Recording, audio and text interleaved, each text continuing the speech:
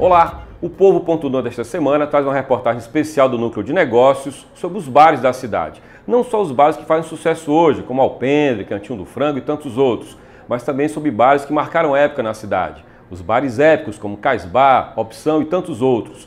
A gente fala dessa memória afetiva dos bares da cidade e também deles como negócio. Qual o segredo para um bar chegar ao auge e não sair dele? A gente conversa sobre esse assunto numa reportagem assinada pela repórter Beatriz Cavalcante. Não perca! E você pode ir ao site do Jornal Povo e também às redes sociais do Povo, no Facebook, por exemplo, e responder qual bar dá mais saudade para você em Fortaleza.